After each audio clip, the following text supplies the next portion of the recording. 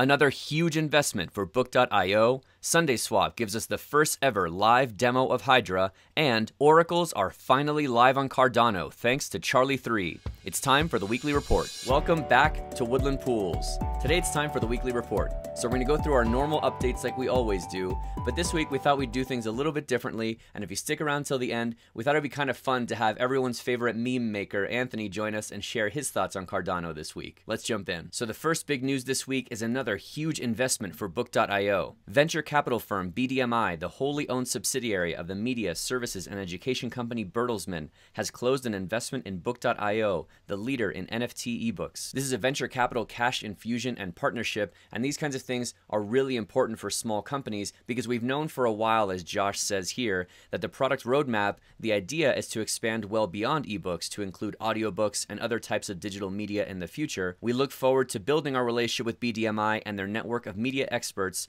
throughout Bertelsmann. So BDMI is the investment arm of Bertelsmann. So a bit about Bertelsmann, they are a media services and education company. They operate in about 50 countries, and many of you, if you've read physical books for a long time, you probably recognize the publisher Penguin Random House that is also a company owned by Bertelsmann. So this is an absolutely huge partnership and investment. The Book.io team seems to keep outdoing themselves with these announcements over and over again, but the important thing that we see here is that this is now very quickly growing outside of just being a fun project on Cardano. These are serious, huge partnerships that they're making with corporations that are spread all over the world, and not only does the cash give them the roadmap to keep growing, but more importantly, it's the reach that comes with the connections with these companies. Then from there, we had two really big announcements that came out of the Rare Bloom conference. The first one is the SundaeSwap team giving a demo of something they've been working on for months SundaeSwap on Hydra. We did a deep dive on Hydra and how the Hydra heads were going to work, but this demo by SundaeSwap really shows the power of what it can do. And an important caveat to keep in mind that Pi mentioned several times that while this is not on mainnet yet, it's an important milestone not just for SundaeSwap, but also for Cardano as a whole. Let's zoom in here. So the resolution is kind of grainy and this is them on a testnet, but what we're going to see is using SundaeSwap on top of Hydra, we're going to do a swap from one ADA to get some Raspberry tokens on the testnet. They're going to click on confirm swap and here's what you want to look out for. Once the swap is actually done and actually swapped one token for another, not just submitted, but actually swapped from one wallet to the next, we're going to see a little green box that pops up here when the swap is fully complete. So check this out. All right, so we got our one ADA uh, confirm swap. That's it. Did you see that? Let's do it again. There's another one. There's another one. And there's another one. That was not four submissions. That was four different swaps, each of them completing in less than a second. This is absolutely incredible to see live and really huge news for the SundaeSwap team Great work on this. We cannot wait to see how this rolls out. And with that, the other huge piece of news that came out at Rare Bloom is that Charli3 and their Oracle is now live on mainnet. As a reminder, the way that oracles work and the importance of oracles is that smart contracts like Plutus that run on Cardano can execute based on any kind of arbitrary logic, but it's important to remember that those smart contracts still only live in the confines of the Cardano blockchain itself. Think of Cardano or any other blockchain as being sort of a self-enclosed bubble. It can do whatever it needs to inside of that bubble. And to be able to interact with another blockchain in another bubble, you would need a bridge, which we've talked about in the past. But much more simply than that, if in that bubble you want your smart contracts to respond to outside events in the outside world, you need a read only feed that's coming in from an outside oracle. And so now that we're fully in the Vasil era and with reference datums and reference scripts,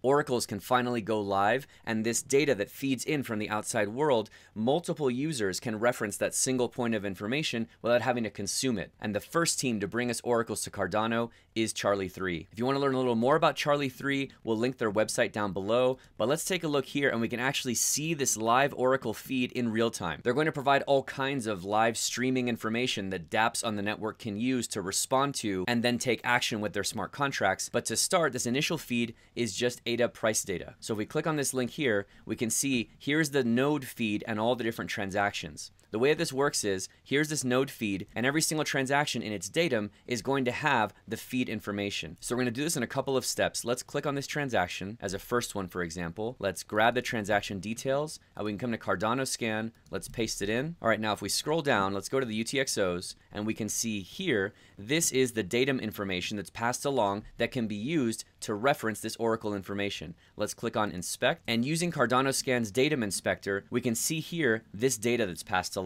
This looks like just some random integers, but if we look, this one is 356605. Let's go and open up another one. So let's go back and let's uh, go back a little while in this feed. We can see all of this data that's being pushed out throughout the network now. Let's go back several hours. Okay, so this is a day ago. Let's grab this transaction. Let's grab that transaction hash. Let's come to Cardanoscan and paste that in. And then let's open up the datum for this transaction. Okay, so here we see this integer is 356605, the one that just happened just recently.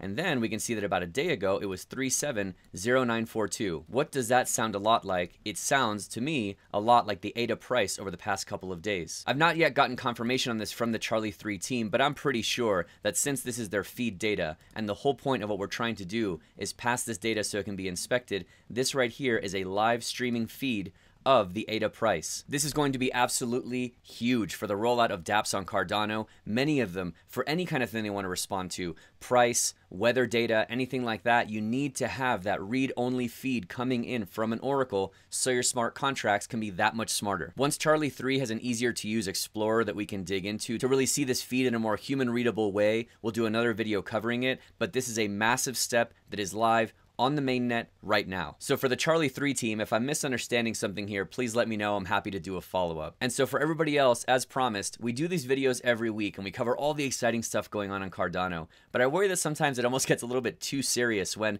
there's a lot of fun stuff going on as well and a lot of really cool people in the Cardano ecosystem. One of my favorites is Anthony, and his stuff that he always shares really just cracks me up. So I thought it might be fun to invite him on and just share whatever's on his mind. So to close out, we'll leave you with Anthony's thoughts. We'll see you next week. Yo, Cardano! What's going on, guys? It's Anthony here. Uh, I just want to thank Woodland uh, Aspen Pools for asking me to be a part of this. Um, to celebrate, I'm going to be giving away uh, free NFTs and possibly some ADA to the first 10 people that go to this website. So good luck, guys. Uh, enjoy yourselves, and I'll catch you next week.